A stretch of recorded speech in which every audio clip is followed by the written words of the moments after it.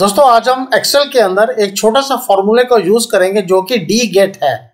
हम इसमें V lookup का भी यूज़ कर सकते हैं, लेकिन वी लुकअप तो हम ऑलरेडी यूज़ करते हैं, लेकिन आज मैं आपको डी गेट कैसे यूज़ करते हैं, उसका मेथड इस वीडियो में बताने जा रहा हूँ। तो दोस्तों, मैं हूँ आपका दोस्त शील खन्ना ई टेक्निकल जिज्ञासा से आपका स्वागत करता हूँ। तो चलिए दोस्तों, इस वीडियो को स्टार्ट करते हैं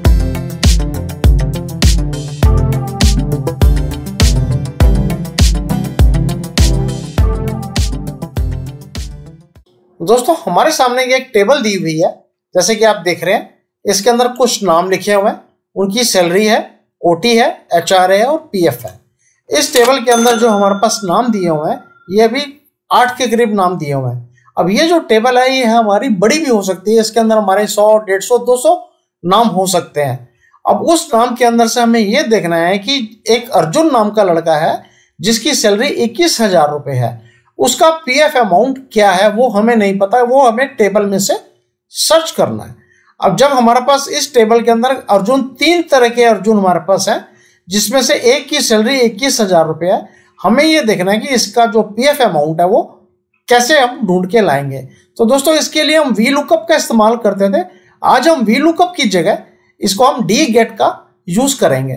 तो हम देखते हैं कि डी गेट से हम किस तरह से पीएफ अमाउंट को सर्च करके लाते हैं। तो दोस्तों, उसके लिए हमें क्या करना होगा जिस अमाउंट को आपको ढूंढना है, उस कॉलम में आप कर्सर को ले जाइए और यहाँ पे ले जाने के बाद इसमें आप इक्वल टू लगवाइए और इक्वल टू के बाद आप लगाएँगे डी गेट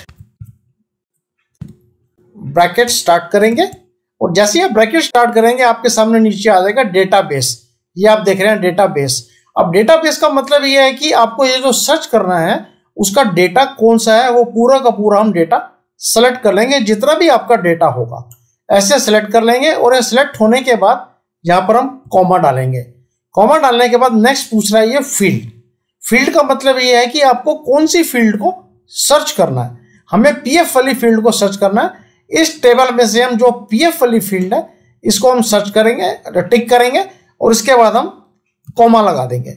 नेक्स्ट है क्राइटेरिया इस पूरी टेबल में से हमारा क्राइटेरिया क्या है? हमें नेम और सैलरी वाले कॉलम को ढूंढना है। तो इसको हम सेलेक्ट कर लेंगे और इसके बाद हम यहाँ पे ब्रैकेट क्लोज कर देंगे। और ब्रैकेट क्लोज करने के बाद इसको आप एंटर दबाएँगे तो आपके सामने ये अमाउंट आ जाएगा। अब आप देखेंगे कि अर्जुन लड़का जिसकी सैलरी इक्कीस हज़ार रुपये है, उसका पी एफ़ अमाउंट सत्ताईस सौ रुपये है। जैसे कि आप ये देख रहे हैं, ये अर्जुन, इसकी सैलरी इक्कीस हज़ार है, इसका पी एफ़ अमाउंट सत्ताईस सौ रुपये है। और बाकी के जो दो अर्जुन है, उनकी सैलरी एक पे दस हज़ार है और उसका पी एफ़ अमाउंट तेरह सौ रुपये है। और तीसरे अर्जुन की सैलरी बीस हज़ार रुपये है, उसका पी एफ़ अमाउंट पच्चीस सौ रुपये है। तो इन तीन अर्जुन में से जिसकी सैलरी इक्कीस हज़ार थी, वो डी गेट फॉर्मूला के थ्रू हमने उसका पी एफ़ अमाउंट निकाल लिया। तो दोस्तों, इस तरह से ये वीडियो के अंदर आप डी गेट फार्मूला का यूज़ कर सकते हैं। और मुझे उम्मीद है दोस्तों, आपको ये छोटा सा वीडियो अच्छा लगा होगा। अगर आपको ये मेरा वीडियो अच्छा लगा इसको लाइक और शेयर करना मत भूलिएगा। थैंक यू दोस्तों. Thank you for watching